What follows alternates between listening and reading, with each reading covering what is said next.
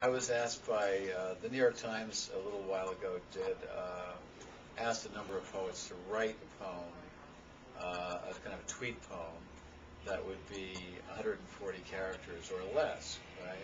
Well, I, being crazy, uh, thought that the assignment was to write one of exactly 140 characters, which is not easy, you know, I mean, because you have to make it a sensible poem. It's like a haiku on drugs. Yeah, know, and I, and I did that, and then they said um, it was too long because spaces count.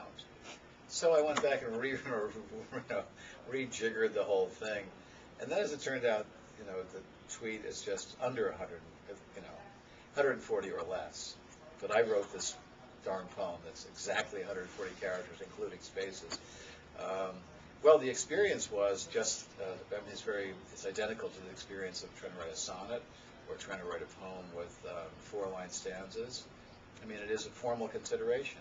So instead of just blah, blah, blah, blah, blah, as you would in a email or endless Facebook post or whatever, or all sorts of other kinds of communication, including a traditional letter, um, you have to restrict yourself. So that kind of uh, binding is uh, very similar to creative activity. I think it was the Earl of Rochester who wrote a letter to his son, five or six pages long, and at the end he said, "I'm sorry I wrote such a long letter. I didn't have time. I didn't have the time to write a short one."